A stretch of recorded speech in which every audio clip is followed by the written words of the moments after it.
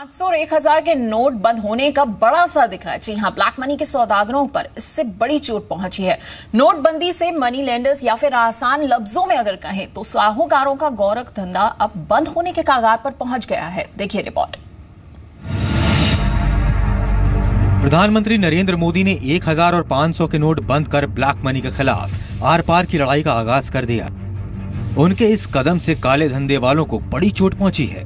गाँव और शहरों में फलने फूलने वाले साहूकारों को भी प्रधानमंत्री के इस कदम से बड़ा झटका लगा है। छोटी अवधि के लिए बड़ी ब्याज दरों पर कर्ज देने वाले सूदखोरों का धंधा ठप हो गया है।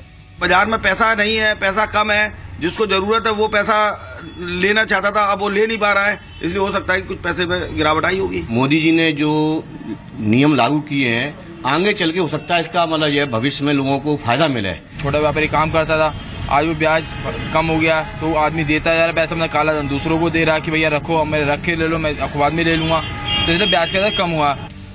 नोटबंदी का असर न केवल छोटे शहरों बल्कि मुंबई जैसे महानगरों में भी हुआ है। छोटे व्यापारियों और जरूरतमंदों को मोटे ब्याज पर कर्ज देने वाले साहूकार अब ग्राहकों के इंतज़ार में बैठे रहते हैं लेकिन वो नहीं आते। लोग पैसा देने को आते हैं लेकिन लोगों के पास पैसा नहीं है नया। और हम अगर मेरे पास जूना होता है तो वो लेते नहीं है। तो फिर बंद हो गया। और नया, नए नोट मेरे पास है ही नहीं है। सालों से साहूकार किसान और छोटे व्यापारियों को तीन से दस परसेंट महीने की ऊँची ब्याज दर पर कर्ज देते रहे हैं। खुद साहूकार भी मानते हैं कि अब बैंकों की ब्याज दर कम होने और कर्ज मिलने में आसानी से लोग बैंक का रुख करने लगेंगे। लेकिन बड़े नोट बंद होने से साहूकारों के धंधे पर बड़ी चोट पहुँची है। Bureau report, Zee Media. नोटबंदी का व्यापक असर साहूकारों पर हुआ है। उनका धंधा तो ठप सा पड़ गया है। अहमदाबाद में एक ऐसे ही साहूकार से बात की, जी मीडिया संवाददाता केतन जोशी ने। 500 और 1000 की नोट क्या बंद हुई, लेकिन जो काला बाजारी और काला धन रखने वाले थे, उन पर तो मानो सबसे बड़ी गाज गिर गई हो। और सबसे बड़ा अगर किसी को नुकसान हुआ है तो वो हुआ है साहूकार को। जो पैसे देकर बड़ा ब्याज वसूलते हैं, उनको भी बहुत बड़ा धक्का लगा है। इस वक्त हमारे साथ ऐसे ही एक अहमदाबाद के साहूकार है। हालाँकि हम उनका नाम आपको नहीं बता सकते, क्योंकि बड़ी मशक्क़त के बाद वो कुछ हमारे कैमरे के सामने बोलने के लिए तैयार हुए हैं। लेकिन उनके धंधे की किस तरह से चौपट हो गई है, वो आइए हम उन्हीं की जुबानी सुनते हैं। हमें ये बताइए कि जब से प्रधानमंत्री नरेंद्र मोदी ने अनाउंस किया है कि 500 और हज़ार की नोट बंद कर देंगे, तब से आपके कारोबार पर क्या असर हुआ है? बहुत बुरा असर हुआ है। नया धंधा तो समझो चौपट ही हो गया है।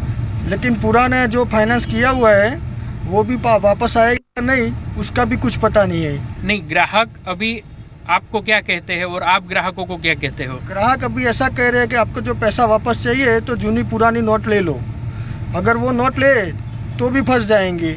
नहीं लेंगे तो भी फंस जाएँगे। तो मानो पूरे बाज़ार में बहुत डर का माहौल है समझो। हमें ये बताइए कि आपके कारोबार में कितना मुनाफा होता है? और कितने टके पर आप लोगों को पैसा देते हैं? ऐसा है कि जैसा ग्राहक होता है वैसा ब्याज होता है। तीन से लेके दस दस टका तक लोग को ब्याज वसूल करते हैं। ये महीने का होता है साल का होता नहीं ये महीने का होता है। समझो कि एक लाख रुपया कोई ले गया तो तीन परसेंट महीने का मतलब साल का छत्तीस हज़ार ब्याज होता है समझो।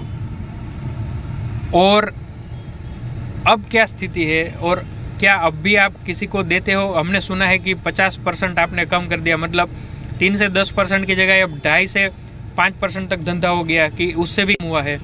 ब्याज का दर तो नीचे आ ही गया है समझो। लेकिन अभी नया धंधा करने का तो कोई मतलब ही नहीं है। पाँच सौ की हज़ार जो नोट बंद हो गई है तब से नया धंधा तो पूरा ठप ही हो गया है। बस पुराने जो ग्राहक है उसमें से जिसके पास जैसा पैसा निकलता है वो अभी निकालते हैं। आगे आप क्या देखते हैं? कितने समय में ये स्थिर हो जाएगा? या तो आप कब सोच रहे हो और कब तक ये धंधा बंद रहेगा? धंधा तो मतलब अभी तो ऐसा कुछ कह नहीं सकते लेकिन कब नॉर्मल मार्केट होता है वो देखना पड़ेगा। उसके बाद ही कुछ पता चल पाएगा। क्या आप लोगों को अभी पैसे देने के लिए क्योंकि इतना बड़ा तगड़ा कमीशन तो दुनिया के कोई कारोबार में नहीं है तो क्या आप अभी नई नोट लेने के लिए कोशिश नहीं करते हैं? अभी तो कोशिश करने का मतलब ही नहीं है समझो। क्योंकि जो हमारा तो जो ट्रांजेक्शन होता था सब कैश में ही होता था। और बड़ी अमाउंट भी होगी। और बड़ी बड़े लोग बड़ी करते हैं छोटे लोग छोटी अमाउंट करते हैं। तो सुना आपने कि जो साहूकार है उनके धंधे की तो मान लो वाट लग गई है अगर ये शब्द प्रयोग करना पड़े तो भी हम कर सकते हैं। क्योंकि न तो कोई अभी इनके पास पैसे ले रहा है और और यहाँ तक की दिक्कत आ गई कि जिन्होंने पुराने पैसे उठाए हैं बड़े ब्याज पर वो इस तरह से दबाव बना रहे कि अगर आपको आपका पैसा चाहिए तो पुरानी नोट में ले लो, या तो नए नोट कब आएँगे उसका कोई गारंटी नहीं है। तो कहीं ना कहीं जो साहूकार है, वो इस चक्कर में फंस गए हैं। और न केवल ये, लेकिन जितने भी काला बाजारी है, वो धीरे धीरे इस तरह से अपना जो धंधा है, वो बंद करने की नौबत पर आ गई है। तो ये सबसे बड़ा इम्पैक्ट है, वो आज हमने एक साहूकार की जुबानी ही सुना। कैमरामैन योगेश ठक्कर के साथ केतन जोशी जी मीडिया अहमदाबाद। तो नोटबंदी से पहले फलने फूलने वाला साहूकारों का मुश्किल वक्त आ गया। जी हाँ, बड़े नोट बंद होने से मोटे ब्याज पर कर्ज देने वाले साहूकारों को तगड़ा झटका लगा है। कुछ छोटे व्यापारियों से बात की जी मीडिया संवाददाता विवेक पाठक ने। असल में बड़ी विचित्र बात है कि जो लोग पहले 10 परसेंट तक अपनी ब्याज पे देते थे, वो लोग सिर्फ़ पचास पैसे प्रति सैकड़ा पर ब्याज पर पैसे देने को तैयार है। लेकिन आज मजबूरी ये है कि पैसा देने के लिए उनके पास वही 500 और हज़ार के वो नोट है जिनको कि अब बंद किया जा चुका है। ऐसी स्थिति में अब आप अंदाज़ा लगा सकते हैं कि जो लोग व्यापारी हैं उन्होंने पैसा उठाना बंद कर दिया। व्यापार एक तरह से धीरे धीरे चल रहा है लेकिन फिर भी सूदखोर और कालाबाजारी के खिलाफ एक बहुत बड़ा एक्शन यहाँ पे देखा जा सकता है। हमारे साथ कई लोग हैं यहाँ पे यहाँ पे एक फूल व्यापारी भी हमारे साथ और यहाँ पे कैटरिंग का व्यापार करने वाले हैं। अमूमन इन्हीं लो, इन्हीं लोगों को अक्सर करके लेन देन की ज़रूरत पड़ती है। नाम जानना चाहेंगे सर आपका? मेरा नाम हिमांशु रावत है। ये बताइए आपका जो आप ब्याज पर लेते होंगे पैसा, जो सूदखोरी चलता होगा, उसमें पहले कितनी ब्याज ली जाती थी? अब क्या चल रहा है? पहले दस दस परसेंट से लेके पंद्रह, बीस परसेंट, क्योंकि जरूरतमंद है साहब करना पड़ेगा। और अब स्थिति ये है कि पचास पैसे की ब्याज की कहते हैं, पर नोट वो पुराने हैं, जो मार्केट में रोड बंद कर दिए मोदी जी ने तो हम छोटे गरीब वर्ग के लोग, जो इनकी डेली की कमाई होती है, वो कहाँ से करेंगे? अब स्थिति बहुत ज़्यादा आप आप कर्जा लेंगे अगर उन्हें पुराने नोटों में आपको कर्जा देना है। ऐसा कैसे ले लेंगे? तो ये कहीं ना कहीं ना कहीं अच्छा एक्शन मानते हैं। एक्शन अच्छा है सर पर व्यतीत तो हो ही रहे हैं। व्यतीत हो रहे हैं। आप बताइए सर यहाँ पर अब आप पहले ब्याज पर उठाते थे पंद्रह परसेंट तक दस परसेंट पर। अब आपको पचास पैसे प्रति सैकड़ा में भी देने को तैयार है।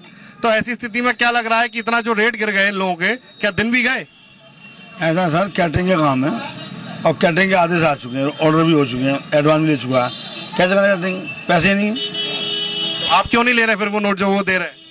और चल नहीं रहे तो क्या करेंगे? लोन लेंगे चल नहीं रहे यानी कि दिक्कत हो रही है दिक्कत बहुत दिक्कत है। तो ये एक साफ़ बात देखी जा सकती है कि मोदी का जो फैसला है उससे कहीं ना कहीं परेशानी ज़रूर है लेकिन जो कालाबाजारी को जो उन्होंने टारगेट किया था सूदखोरों को जो उन्होंने काले धन को निकालने के लिए जो बात कही थी आज वो प्रत्यक्ष रूप से सामने दिखाई दे रहा है और आज जो कालाबाजारी है वो शायद सूदखोरों के लिए परेशानी का सबब बनता नज़र आ रहा है क्योंकि ये वही काला धन है जिनको उन्होंने केवल ब्याज से अपना दुगना तिगुना किया और आज वही गरीब मजदूरों से पसीने से जो निकली हुई कमाई थी, आज उनके लिए काला धन है और वो आज उनके लिए परेशानी के सबब बनती नज़र आ रही है। Vivek Pathak, Zee Media, Agra.